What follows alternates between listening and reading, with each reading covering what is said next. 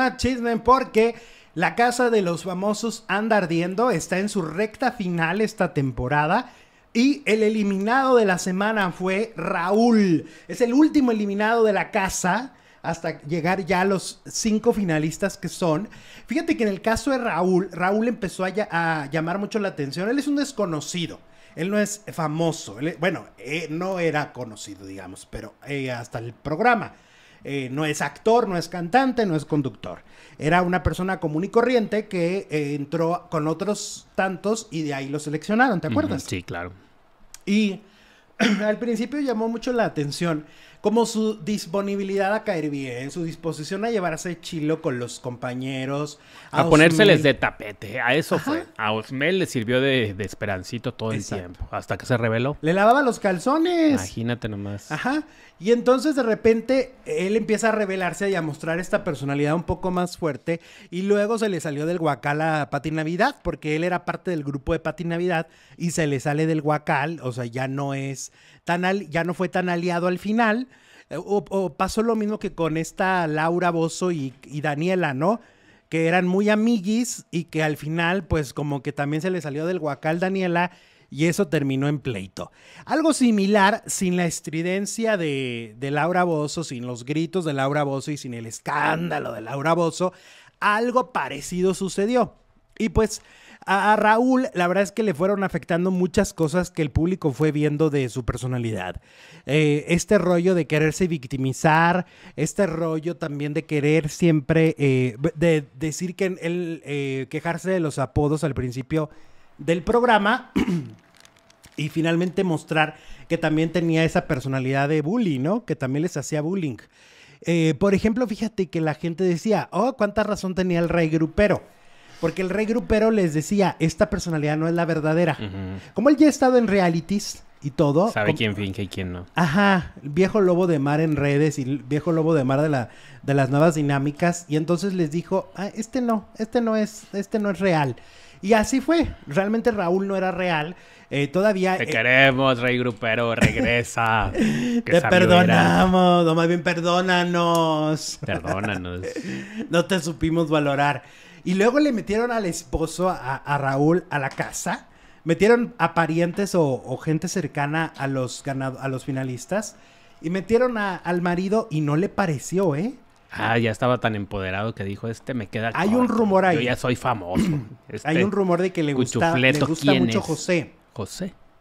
José. Que, le gusta mucho José y que por eso, de alguna manera, como que ya se veía casado. Pues, ¿cómo casado si ya está casado? Pero José es heterosexual. Ah, bueno, y entonces. Pues en su mente. En su mente. Pues yo creo que ahí encerrado te haces tantas ideas, ¿no? Hasta te enamoras de la licuadora, yo creo. Pues yo creo que sí. Así como de, ay, esa licuadora con sus aspas me está haciendo ojitos. la licuadora. Imagínate.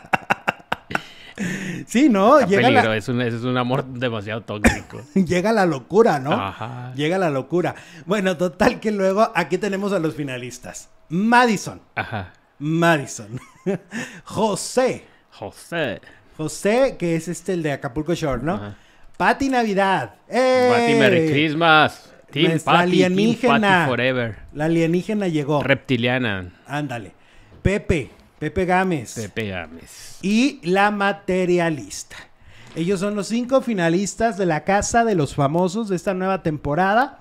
Y de ahí tendremos a un ganador. Estaban diciendo en Chisme No Like que Pati Navidad no va a ganar porque no tiene visa visa, de turista para Estados Unidos.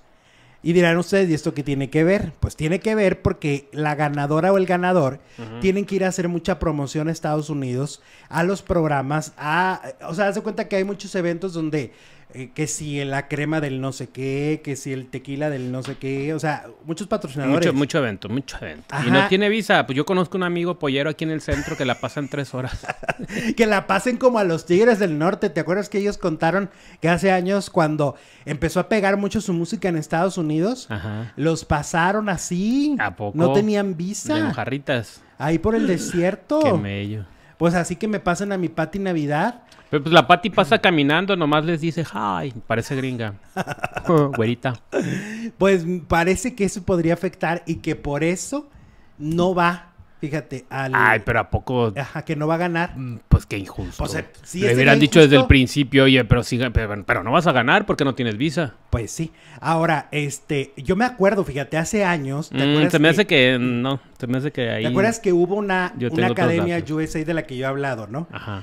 Y esa es- estuvo en el mismo formato del- de, la Casa de los Famosos. Se grababa en México, pero se transmitía en Estados Unidos. Claro. Entonces, ahí, fíjate que hicieron un casting y pues se trajeron pues a gente de Honduras, a gente de muchos lugares que vivían en Estados Unidos.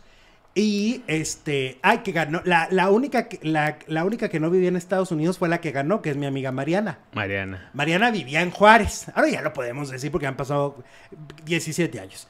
Este, Mariana vivía en Juárez Y se suponía que vivía en y, Estados y Unidos. hizo que como que vivía en El Paso. Mm. Ya había hecho cuatro castings de academias y nunca había quedado las de Pero México. ella los engañó a ellos o de la producción dijo, vas a decir sí que vives. No, o sea, ella les dijo vivo en El Paso, pero ay, claro que se dieron cuenta y sabían.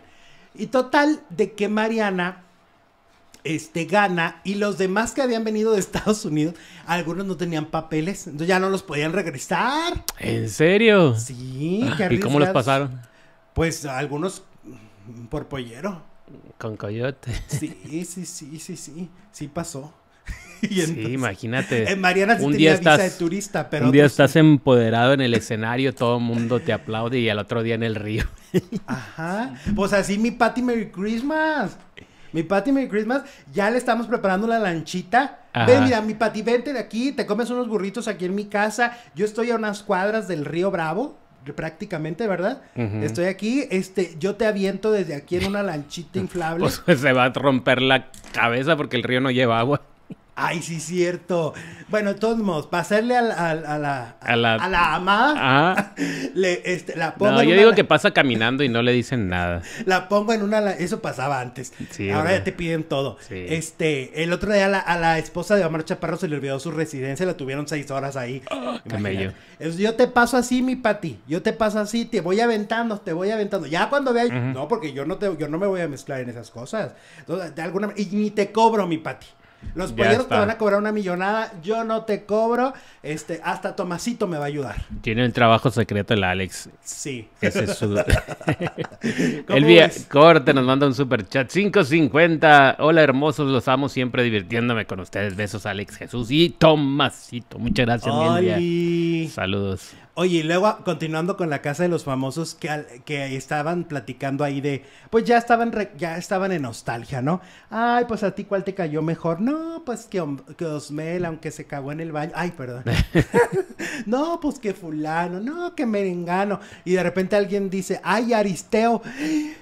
Se cuenta que les mencionaron a Satanás. Al diablo se persinaron todos. Pero no porque todas. les caiga mal. Porque no pueden. Es que tienen prohibido hablar de Aristeo. Ya ves que Aristeo estuvo, que sí lo vimos. O sea, si ahorita quieren que borremos de nuestra memoria, yo sí lo vi adentro. ¿Tú? tú? Pues claro que lo vimos y este, eh, ¿Quién este- más lo vio? ¿Quién más lo vio? Que levante la mano en el chat. ¿Quién más vio al Aristeo en Telemundo? Porque como está demandado por Azteca, va a fingir demencia. Va a decir, yo no entré a la casa, yo no estuve ahí.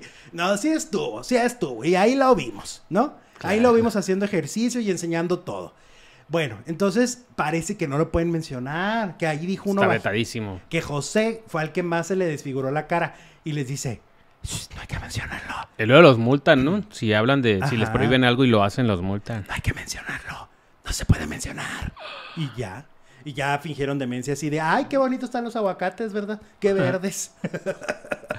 Como en el, como en el, como el, como el, el portero este de Eugenio Derbez, que le cambia todo. Ah, pues persona que pasó por aquí y no ganó. Persona que estuvo en el hexatlón con un cuerpo atlético, que, que, le, que le creyó a Sandrés Mester que no lo iban a, a demandar.